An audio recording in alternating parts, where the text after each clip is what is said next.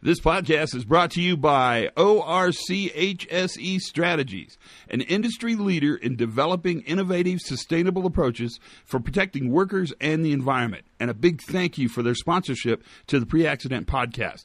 ORCHSE's main focus and passion is in fostering EH&S performance excellence in all their companies. When members participate in one or more of ORC HSE's nine different specialized networks, or if they engage in one of their task force or working groups, something very special happens. The sharing of ideas frequently results in cutting edge solutions that have practical applications immediately.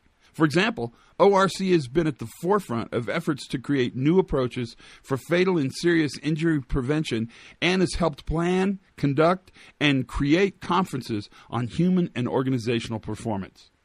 If you're interested in learning more about the unique opportunities available through ORCHSE, please contact our buddy Linda Haney at 202 510 0509 or if you'd rather pop her an email, it's linda.haney, L-I-N-D-A dot H-A-N-E-Y at O-R-C-H-S-E dot com. Now, let's listen to the podcast. Todd, this is Tony. Can you hear me? Yeah, you sound good. You sound younger and hipper, Tony. yeah, I just took a young pill today. Can you send some of those out to us?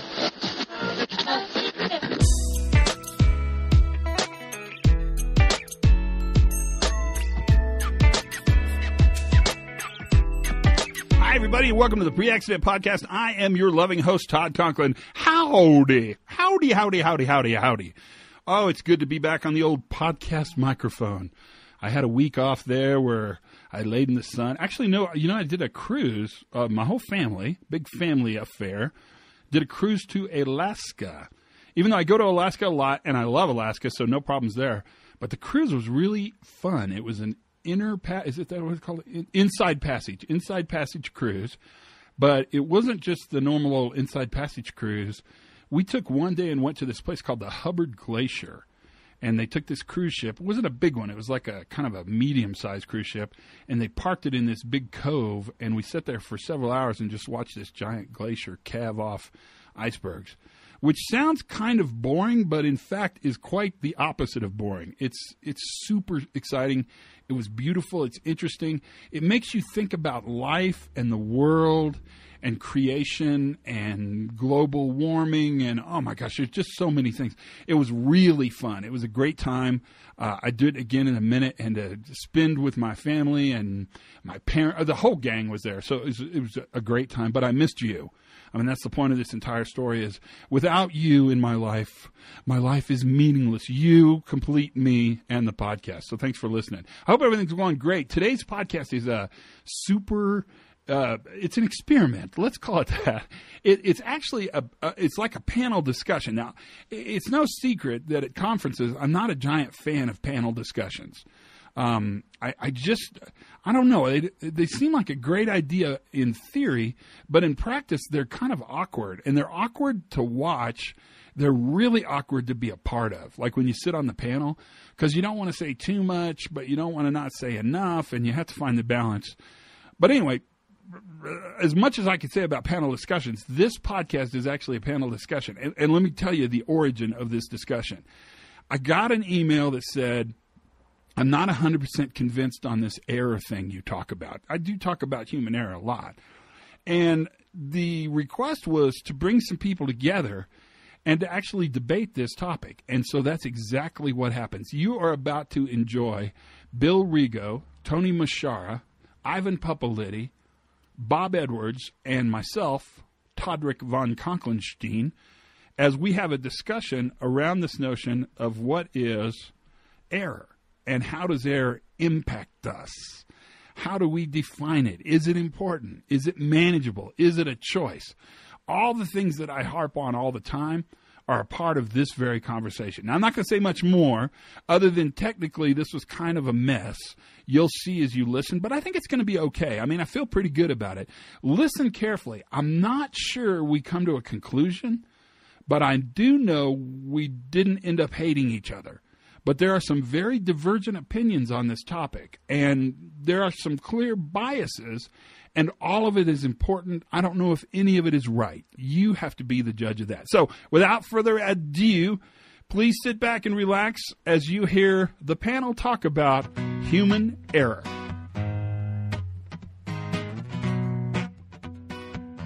This is a this is a great discussion, and I think it's equally distributed. We'll see uh, here in a moment around the notion of human error.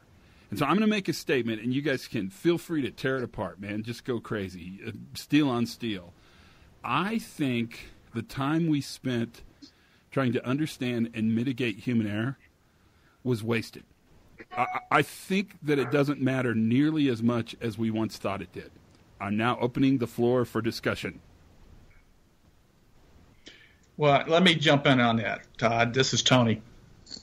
Um, the issue is, uh, to me, a management issue. Uh, human error is something that we all experience every day.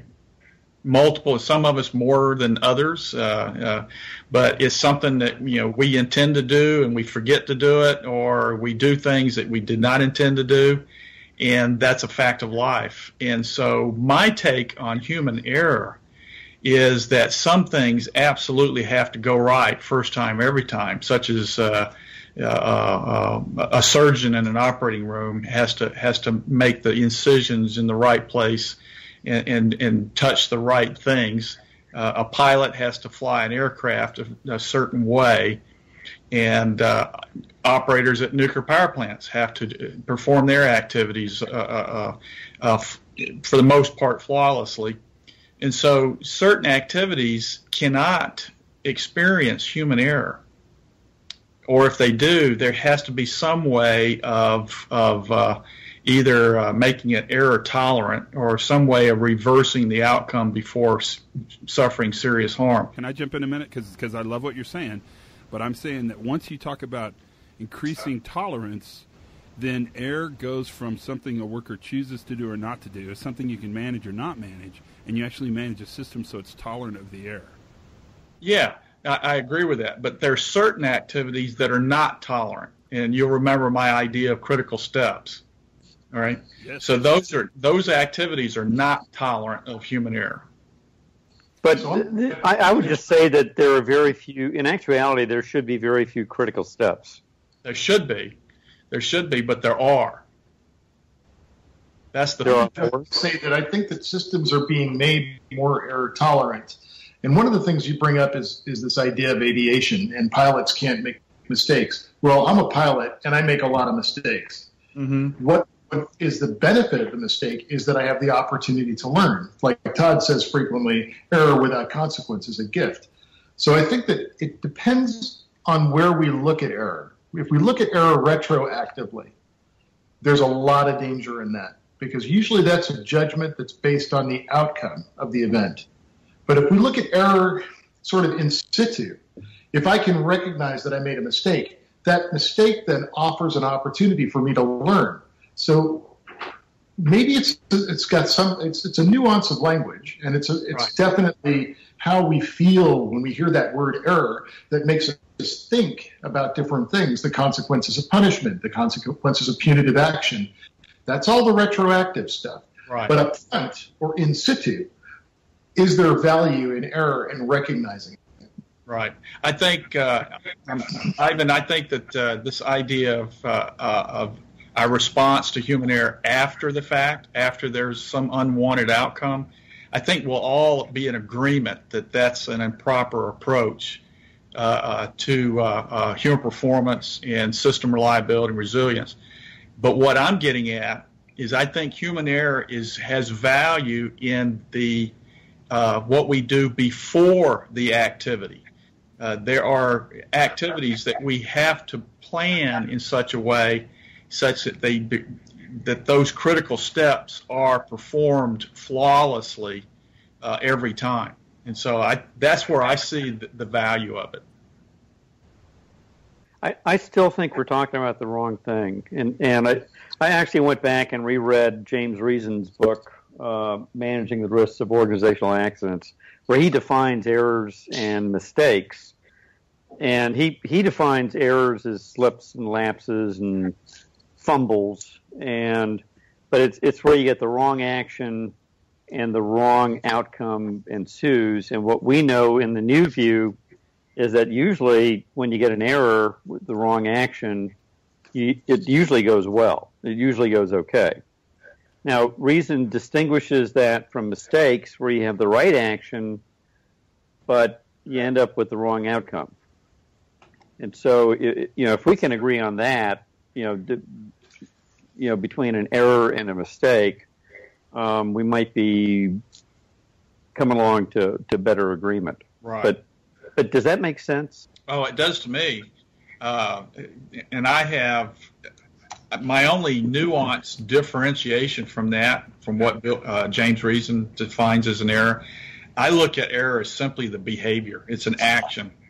So it's a it's a behavior that uninten- right. unintentionally deviates from a preferred action, and right. uh, and what I consider a preferred action is the action that that preserves the integrity of the asset or assets that a person's working with. I have a little problem with that one. um, so I'm big in the firefighting business right now, obviously, and I'm looking at firefighting system being a complex adaptive system. And so if we look at things as decisions in that in that battleground that we call fire, then we could say that that decision was an error. But really, in a complex system, the decision is more of an experiment. I'm going to try something and see if it works. Now, can we have error in experimentation? Yeah, I agree. I think you can. So tell me more because I'm not sure that I, am not sure that we have an error. I think we have an experiment that yielded a result but I'm not sure that that's an error.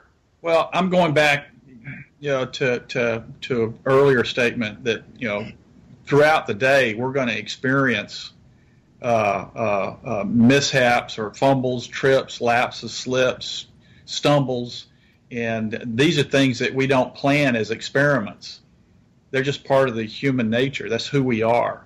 And so, you know, we misspell words. We we we we we just make mistakes throughout the day. And so what I'm saying is we have to anticipate those situations that absolutely have to go right. And so so what I'm looking at is more the proactive approach is not so much the reactive uh, uh, perspective or the learning perspective, which I think is necessary and I think is valuable. Uh, I don't think I, I, I, disagree with anybody uh, uh, that's on this phone call, but in terms of before people put their hands to the controls, we have to think in advance. We have to. That's part of the, the one of the cornerstones of risk of, uh, of resilience engineering is anticipate. Where do things have to go right? Where do we can where where are those situations where we cannot experience or suffer variation from human nature? So let me let me interrupt then to ask this question because because I think we're in the same place, but the question then becomes: Do we manage error, or do we manage the system's tolerance for that failure to mm-hmm. happen? Because where I would really push you, and, and this is what I've become interested in, is I think we've sold for years a bill of goods to people that says we can actually manage error. And I don't think error is a choice. It's it's an unintended, right? That's your definition. I, I don't think we manage the absence or presence of error. In fact, Adrian Cockcroft said in the podcast this week, if you guys heard it, that the first thing that made him switch thinking about how to design highly reliable systems was when he figured out that you cannot legislate against human error. You can't mm-hmm. make a rule or a policy against human error. I don't think we manage the absence or presence of error. I think we manage the system's resilience or tolerance. Or tolerance. To manage that error. I, I agree with so, that. So, so this is Bob Edwards. I I think as, as, an engineer and as you know doing all these operational learning teams that I've done hundreds of now, I, I think error is just almost boring. I I think it's just it's just super normal. It just, but it seems like to me that error's so normal. I'm afraid of, and what I see happening sometimes is that if we believe we can manage the error, then we start doing things. I saw a company do this. Started doing human factors investigations, which was a whole new way to write people up. You didn't use three-way communications. You didn't use alphanumerics. You didn't, you know, we trained you on these things. You did, and we had to stop them and say, "Stop! What are you doing?" Well, they didn't use these things. If they had used those, we wouldn't have had the error. No, I, I, I don't know. I think even some of the things that I thought were error prevention, like three-way communications when I'm flying a helicopter, I, I don't really think it's an error prevention. I think it's just the way you communicate when you hand over controls because these small helicopters don't fly themselves. So I don't know. That's kind of where I'm parked at now. Is that I'm kind of losing interest in error because it just seems so. It just seems so prevalent and so normal. Bob, this is Tony. I, I, going back to, to, I would agree with what you're saying. It is normal, and that's why we have to think about it in terms of where the risk is in our operations. Uh, uh just go back to uh, what everybody's uh, familiar with: driving your car. I mean, we, when we get in our car and we, we start backing out our driveway, uh, where do we stop? We stop the car just before we enter the line of fire. We go we or, just, or, when, or when we hit the trash can, or when we hit the trash can, right?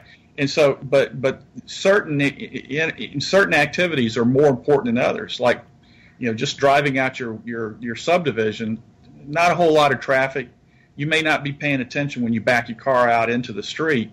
Uh, and so sometimes we can we can afford to make a mistake there. But once we get out to the main road, we're a, we're a lot more cautious. And what do we do when we come up to an intersection? We slow down, and most of us stop for the most part. You know, the wheels may be turning a little bit, it, but I've taught myself to stop at stop signs because sometimes I may not see a vehicle in the intersection. But but have you ever done that and completely come to a stop and look both ways and really think you've done a good job and pull out and somebody's right there? Yeah. I mean, have you still, ever oh yeah. So going back to Todd's question, we st- we have to do both. We have to look at not only avoiding critical mistakes, but at the same time we have to design the system that defends the assets, that that that protects the things that are important to us after we do make a mistake. So I think we have to do both.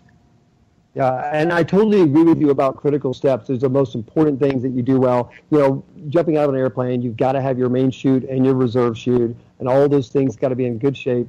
So I mean, I, I totally get the, the critical step thing. That makes sense.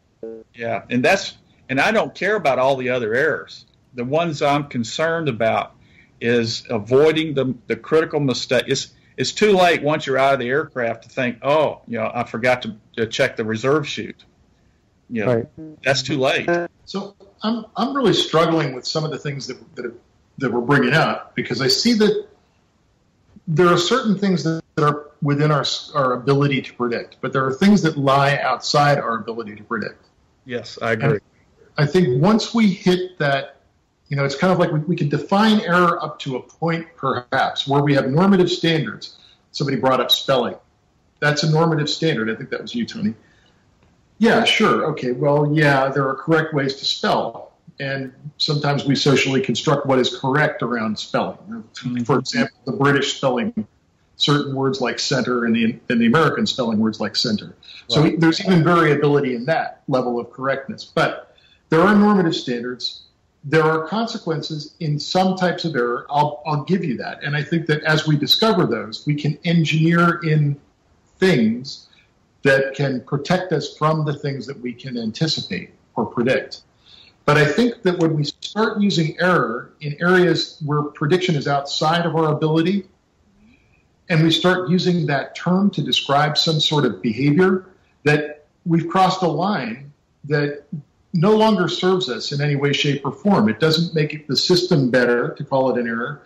It doesn't make the person better to call it an error it is something that lies outside our, our ability to predict, and therefore it really isn't a behavior, and it isn't a, it isn't a, an error. It, it is. I, I, don't know if we can call it a mistake. I like to think more that it's an experiment that had a had a specific outcome. May not have been the desired outcome, but it was an experiment. And what I see over and over and over again in fire is guys experimenting, guys and gals experimenting, and they get a result, and then they come back and they say, "Well, that worked, so I'm going to apply it the next time." Mm-hmm. And if they apply it three times in a row, then it becomes a standard, and then they call it an error if they don't get the outcome that they predicted. Mm-hmm. But I think they're misusing the term too, I, I th- and I don't think that it's particularly valuable for them. it almost sounds like Ivan that uh, it, what what you call an experiment is similar to what uh, Erik Hollnagel calls an adjustment. I mean, Erik and I have talked about this in the past. I don't think I used the word experiment then. And by the way, I don't know that experiment's the right word. I'll tell you that. I would love to get some help on this because if I if I go to my firefighters and I tell them they're experimenting, they look at me like I'm crazy. Well, here, here's my here's my contention, and this is perhaps the main reason I, I suggested that we have somewhat of a debate on this. Is that managers need to? I think managers, uh, uh, uh, line managers of your high hazard uh, industrial operations, uh, it's human error is still a, a common phrase, and they understand that phrase and uh, in, and so what we we're trying to do is help those line managers anticipate what they can anticipate. That's one of the key features, one of the cornerstones of resilience of resilience.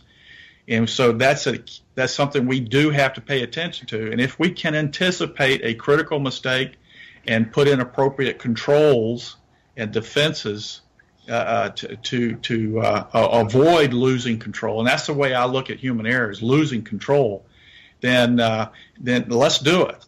All right, but then you're right. We can't anticipate everything that we can anticipate. It scares me that we're we're selling the idea that we manage error, I, and what? that's that's where I'd really push you. Is that I don't think we manage error. I think we manage, we really manage the systems in which high risk work critical tasks, whatever you want to call it. I think those systems yeah, I are done. You have to do both, Todd. That's the thing. then, if you believe you can manage error, then you believe error is a choice. And I think once managers hear that, they they jump off on it and they think this is another way to manage bad workers. Uh, well, here's what I'm getting at. You know, when when people do critical work, what we're really managing is the behavior. We're making sure the behavior goes right a certain way. That's the work as imagined. Would you agree? When it's predictable, when the system delivers that which is expected routinely, then you might be you might you might have the opportunity to develop those things. But, but I think that as systems become more complex, as the as the limitations of the engineering are realized, or the limitations of the complexity of the system are realized, that we're no longer in that same discussion. I think that at that point it changes radically and it's no longer a behavior. And if that's what you're trying to manage, and, and I, was it you, Tony, that said losing control? Yeah. this is something you never had control of. And I think that that's a, something that we have to start to realize is that in complex adaptive systems, there are things that we simply only influence at best. And then when we influence them, they can change in ways that we didn't predict. And I don't think that that's necessarily an error. That's more of an organic or biologic system response, that, that, more of that type of an analogy, and less of an engineering sort of analogy. But there, this is why we have procedures. We got to have procedures. People have to be given some direction on what they do. If if the system is so complex that we can't follow procedure, then why are we using people to begin with? well, people may be the only ones that can make sense of the situation as it unfolds. Well, then it must not be that complex. Learn in the well. You're suggesting that human brains aren't very complex or can't handle complex problems. I would suggest that the opposite is true. Oh, that yeah. your line of defense in a complex system is a is group sense making, learning, and improvisation. Right. And that's not procedural. That is improvising at the point of work after you take in as much as the group can take in in terms of information. Mm-hmm. And then again, you're making somewhat of an informed decision. And again, I'm, I'm, i use decision with trepidation because I, I know that if, that if it has a bad outcome, then it was the wrong decision. And I, I want to try and avoid that because, mm-hmm. again, that's a judgment based on outcome. And what I'd rather say is that the group comes together and they develop an adaptation or an improvisation that fits the information that they have and they try it and then they see what they get and that's the best that we can expect from that situation. And i would add to that that, that the no, thinking of a mistake as a behavior actually builds in the sort of that that old saw that will we manage behaviors that every accident is a result of an unsafe act and all that kind of stuff. And, and that i think that moves us backwards in in at least the new view thinking I don't think so, Todd. I, I really don't think so. There's there's actions that people are taking that can that can be anticipated, and we can put those in procedures for the most part. I'm, I'm really I am talking about safety one perspective, but that'll take you up to a certain level, and then we adopt the safety two or the new view. But it's not either or; it's both and. That's what I'm suggesting. You got to anticipate the critical errors and put in the controls to avoid those errors, and in some cases proceduralize it. Sometimes we had this conversation earlier. There, there are some techniques called human performance tools that people can use to to make sure they don't make critical mistakes that uh, that ha- that have been put in place by exemplars, people that have, have shown that they make fewer mistakes than others. So, so I'm saying that there is a risk to be managed because people do make mistakes, and it's. I agree. It's difficult to anticipate exactly when and where those mistakes will happen, but if we know certain things have to go right, let's make sure they go right. Bill, well, I agree with that, but you know what? What ha- what I see, and I think what we tend to see in, in our respective businesses, is that you you focus on both, which is error reduction and management of error prone systems or error provoking systems. And the but the management emphasis it, it goes to the error reduction or error prevention mm-hmm. rather than management of the systems that, that could be more error tolerant.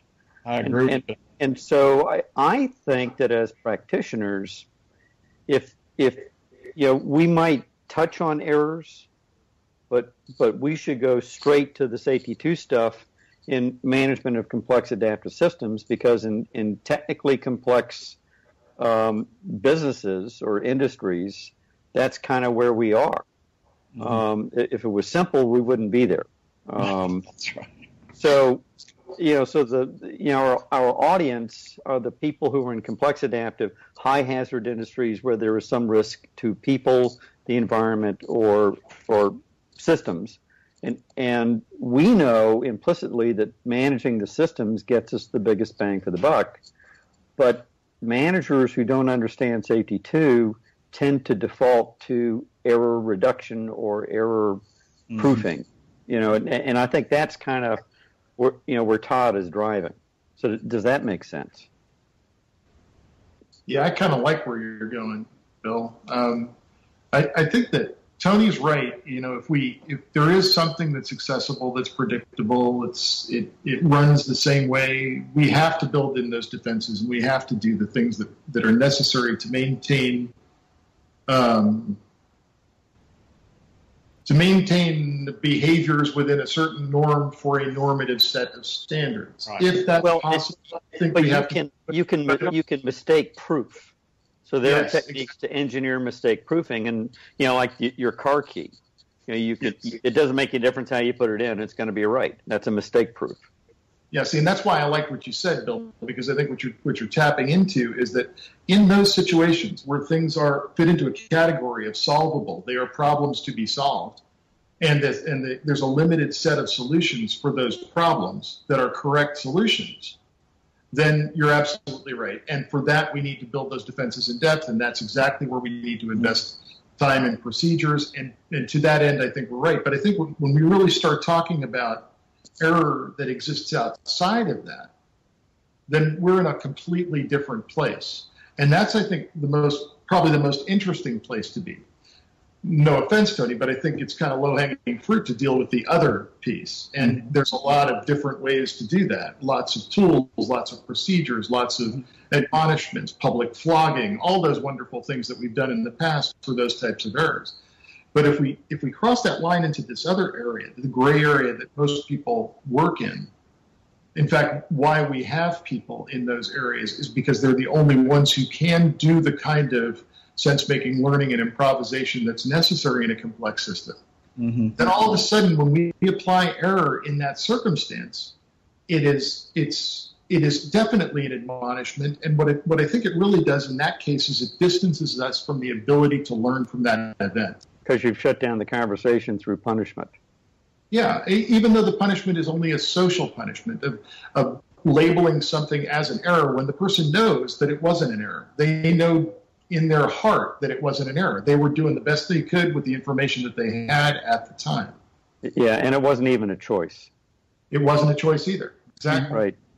And, and I think we struggle with even saying the word error. I mean, we're saying it a lot uh, tonight, but when we get right down to it, I'm, I'm not even sure we understand what that what that really means. Is it a choice? Is it not a choice?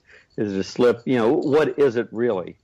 And uh, you, you know, you're calling it an experiment. Hollnagel calls it an adaptation.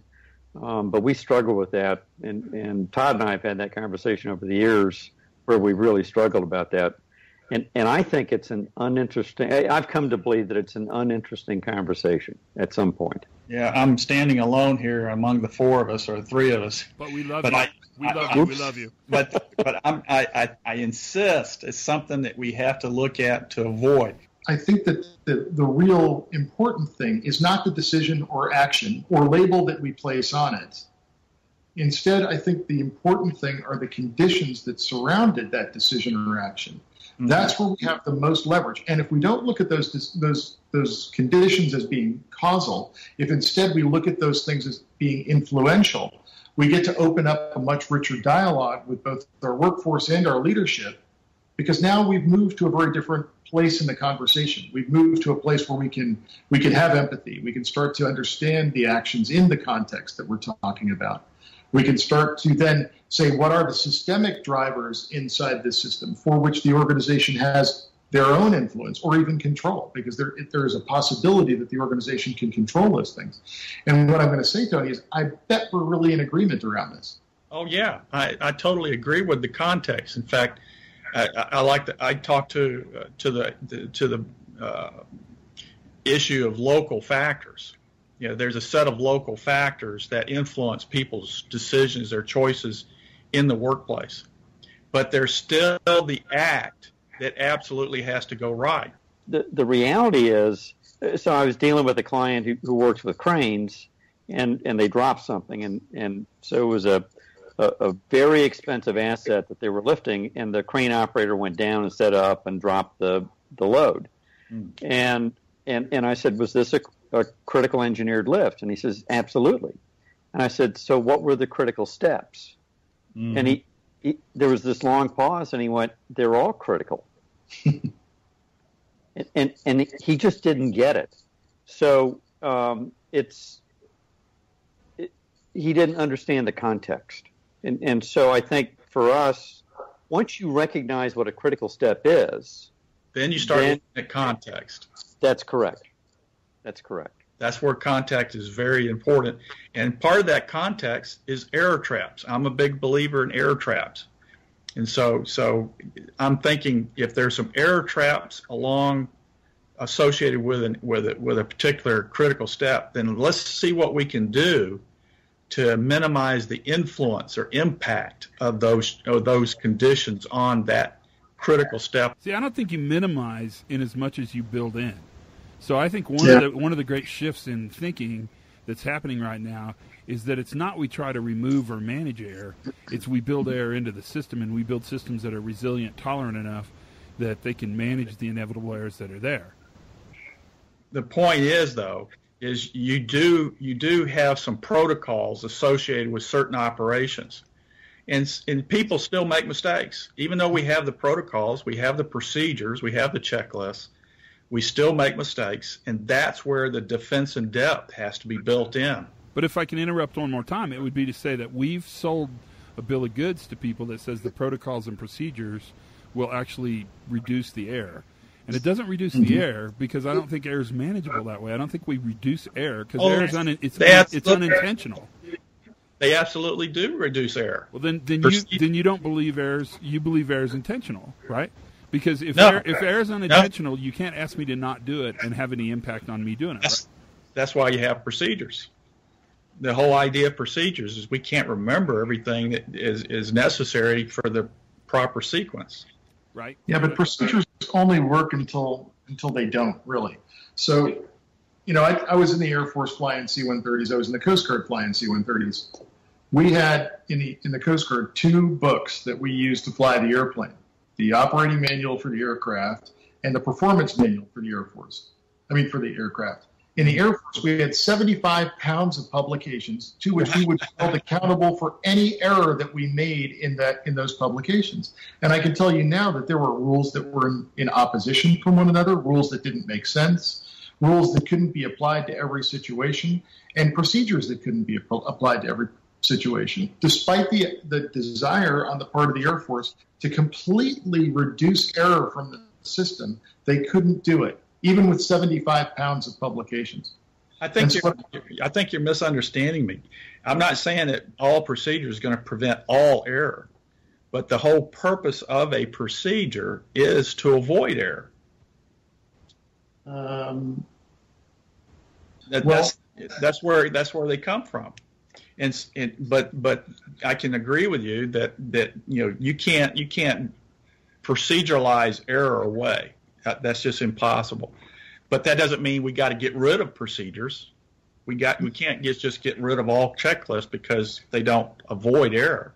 No, that's correct, Tony. But but the procedure presumes a certain level of competence on the part of the operator right. Uh, in terms of knowledge and ability and experience to be able to perform it as the procedure writer imagined it. Mm-hmm. No, I agree. So we can't get rid of procedures, but the whole purpose of procedures. advocating for that, Tony. I, I, think that I think that what we're saying, well, at least what I'm saying, I won't speak, speak for everybody, but I think what I'm saying is that procedures have a place. For example, novices need procedures. Mm-hmm. When we get to expert level performance, expert level performance offer, often operates outside of procedures. Right. Expert level performance is often adaptive. Mm-hmm. And I think that that's an important thing to realize because in that adaptation, they're frequently building different things into the system. It could be efficiency, it could be thoroughness that they're developing or they're building into the system. So I think that when we get to that point, we could easily say, based on the outcome, that the that the adaptation by the expert is a deviation from the procedure. But really, what is it doing and why are they doing it? That's the most important piece of it. The action itself is almost uninteresting. My caution is is we cannot just simply say we're not going to use the word human error anymore and we don't have to worry about it. I think that's wrong to, to tell managers we don't have to worry about human error in light of critical steps. Those actions that absolutely have to go right certain things have to go right first time every time. But in most high hazard industries, there's there are relatively few critical steps, or should be, and if there are, the then they need to figure out how to whittle those down so that they're a smaller number. When the system is normal, whatever normal is, when the system is normal, then the procedures work and the processes work and all the checklists work and all that stuff. But we could have machines doing a lot of that stuff. Mm-hmm. It's when the, the system delivers that which isn't normal, and we judge the outcome of that to be, to be associated with a behavioral error that right. we lose the ability to learn from that event. And and that's the piece that I think that that is I mean we've said it a couple times, but that's the piece I think that's really important is that yes, you're absolutely right, Tony. If the system delivers exactly what you expect, you can follow a procedure and everything will work harness lock, landing gear down and lock, brakes, parking brake off, brakes pump firm, gear down, flaps down, landing checks complete. I still remember the checklist for the T-34 that flew in Navy flight school before landing checklist, right? So yes, and for a novice, that is critical because that's all a novice has. Right, right. Once we move into that area where now I select the landing gear handle down and I see an anomaly, now I'm in a very different place and I've got to do things in a very different way. And there may or may not be procedures for that particular malfunction. Mm-hmm. And having had that particular malfunction where there was no procedure, I had to adapt on the fly. No pun intended. Okay, pun intended. Yeah, I had to adapt on the fly, try and figure out what options I had available. And at that point, it was no longer uh, a decision or an action. It was a collaboration. It was making sense of what I had and then it was building margin for a successful outcome. And success, by the way, changed, right? So successful outcome is landing and taxiing to where you want to taxi to and getting out of the airplane. In this particular case, it was putting two mains on the ground and allowing the nose slowly to come to rest on the on the tarmac and coming to a skid someplace close to the center line. So success actually changes at that point. And that's why I say it's very difficult in those circumstances to call anything an error. Yeah, I'm not disagreeing with you, Ivan. I just uh, I think that uh, even in those situations, you can still make a mistake. I don't know that you could define what a mistake would be in those situations until you've got the outcome. That's the problem. Because mm-hmm. I don't know what a mistake would be in that circumstance until I've made it and I've had an outcome. Mm-hmm. And that's a problem because then it's not in the it's not a behavioral issue. It's I'm experimenting with the unknown. I'm in the unknown. Right. And that's why I have a, a hard time with even the, the notion of uh, of uh, labeling anything in that in that realm as erroneous or even as a behavior. I think it's someplace between a decision and an action, and it's it's influenced by a whole bunch of contextual factors. Um, so if we're if we don't go to the extremes, if we get away from the binary opposites of right and wrong and good and bad, um, if we instead think about this as a massive gray area in which the worker is working, because it is a gray area, it's complex, then we're someplace between, on this spectrum, someplace between a decision, which is a very deliberative thing, and an action, which is a response to stimulus.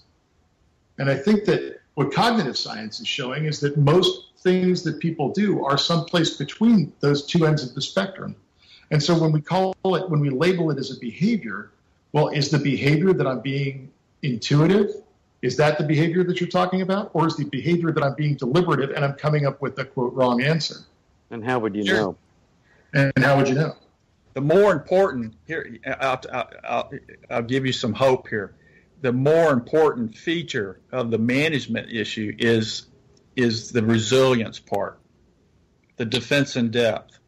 Right. Is you know how do you how do you design the system to accommodate when people do make mistakes at a critical step? And I think so. What, it's error tolerant. And what I see in the world is that there's a belief that we don't have to make the system resilient if we could make the workers less error prone. And that's uh, that's dangerous. Yeah, it's, it's pretty common. I mean, it's it's out there all the time, and it scares oh, yeah. me but we still, uh, you know, we think we think that error is sin. There's a common belief among many managers and even workers that when people make mistakes, there's an immoral act associated with that with that error, and that's another misunderstanding about error. Error is simply a behavior that triggers an outcome. Or I'm struggling with the idea that error is a behavior. You're going to have to give me a little bit more to go on because I, am not I'm not seeing that in any of the accidents that I've looked at yeah. or incidents in the Forest Service. Yeah, I look at error as an action and not so much a cognitive decision. I look at what's the error in the action. And there may be some decisions cognitively that were made before the action. And I would suggest there are two fundamental truths. And, and, and these are ones that are open for debate, but I would suggest that one is you can't you can't legislate against error. You can't ever write a checklist that will ensure there will be no error, and that ultimately you can't predict what's going to fail next. What was that last part, Todd? You can't predict what's going to fail next. Uh huh. I agree. And so then then you're in a problem where you've got this really complex system that you're trying to manage the best you can, and um, you're sort of up against it. What do you? Has this been yeah. a good talk? Have you enjoyed this talk? Oh yeah, I, yeah. In fact, in fact I want to spend. You more, want to meet Tony? I, gotta, I, want to spend more time with Ivan and understand firefighting better. Everyone wants to spend more time with Ivan. He's totally worth spending time with. I'll tell you this: um, I got to bring this ship back to shore at some point. Um, so, so do we have to stop? Uh, a little bit. So let's go around the horn. Any final comments? We'll go Bill, Tony, Ivan, and then we're out. All right. I, just think that, um, it, you know, it, as I say, I'm going to end where I started, which is errors are, I think they're, you need to understand it. Um, but the, the more we get into it, the more uninteresting it becomes. And that's all I have to say. I believe that uh human error is still a risk that must be managed proactively, and I think that's the key aspect of uh, of the anticipate element of uh, the of, of the uh, corner the anticipate uh, cornerstone of, of, resilience engineering, and so it's it's a uh, hazard that managers can look look to in advance for critical steps. Make sure those critical steps go right first time every time. And uh, when error does happen, I, I fully I think there's opportunity to learn from it and to understand that error has its roots in the system that surrounds that operation or that task. And so fundamentally, I believe human error is a loss of control. So I'm going to go to Teddy Roosevelt because I can. Teddy says, It's not the critic who counts. It's not the man who points out the strong man's stumbles or where the doer of deeds could have done them better. The credit belongs to the man who is actually in the arena, who, whose face is marred by dust and sweat and blood, who strives valiantly, who errs, who comes short again and again, because there's no effort without error mm-hmm. and shortcoming. But who does actually strive to do the deeds? Who knows great enthusiasms, the great devotions? Who spends himself in a worthy cause? Who, at the best, knows in the end the triumph of high achievement? And who, at the worst, if he fails, at least fails while daring greatly? Always good to end with the Teddy Roosevelt quote. That's it, man. What do you think? That was the big debate on human error. It was super fun to do, but technically that was a tough thing, man. Holy cow. So, um, to bring you up to speed, Bob's Skype fell out about halfway through, and we could never get him back. But it didn't matter because he started having a robot voice, so he couldn't really understand him anyway. So I think he expanded the bandwidth of Family Camp as far as he possibly could to be on that debate. Thanks to Tony. Thanks to Ivan. Thanks to Bill. Thanks to Bob. Thanks to you thank you for listening to the podcast. I hope this one is thoughtful. Uh, there's clear biases here. I can tell you that we did not come to an agreement, even though we acted like we did. We're gentlemen, so there was gentlemanly rule following there the entire way. But uh, there's some different viewpoints in that little uh, uh, discussion. There's a clear linear engineering centric world. There's a clear non-linear, more complex view. They're all kind of there and they're well represented. It was super fun and I bet we'll do it again. Thanks for listening. Uh, please subscribe and I don't care how you do it or what it takes. Tell your peers and friends in this world to listen to this podcast. It is getting really good. The content is all of a sudden super, super good. Not that it was bad, but holy crap, now it's like a graduate course. Um, until then, learn something new every single day. I bet you did today. Have as much fun as you possibly can. And for goodness sakes, be safe.